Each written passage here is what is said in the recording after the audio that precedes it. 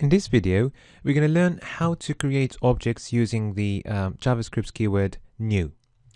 Alright, so let's create a new file and call it objects using new and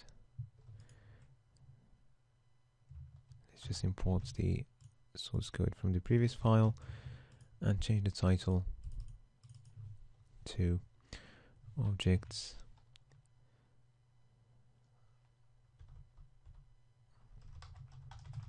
using new.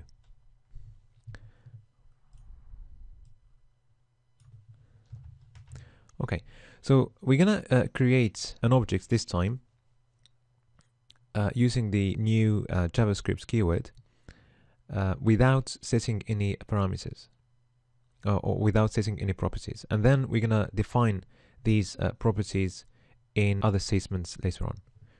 So we're gonna uh, need one first statement where we define the objects. So let's um, call our object um, my phone again. And this time we're not we're not going to use any curly brackets we're not going to set any um, properties but we're going to use new object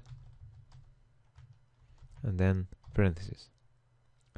Okay so what we're doing here we're defining the object and then we can define um, properties for these objects with their corresponding values. So let's um, define the make for instance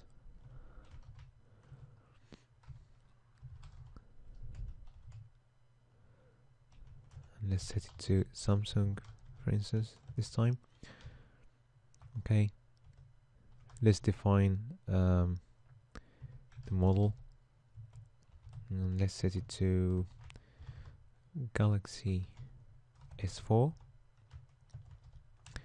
and also let's define the warranty and set it to 12 and the color.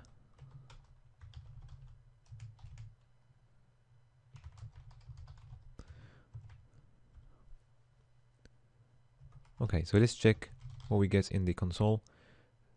So window console. So we need to refresh the live preview.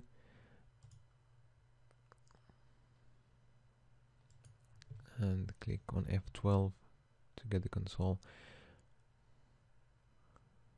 And let's refresh. Okay so you can see um, the uh, objects displayed in the console here with all the the properties with their uh, corresponding values. Okay so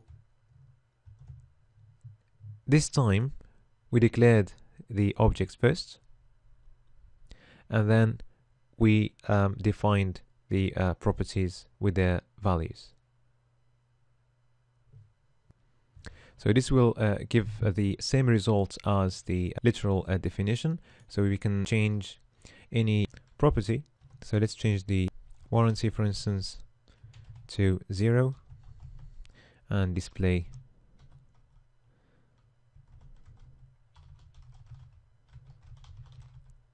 the objects again and see what we get.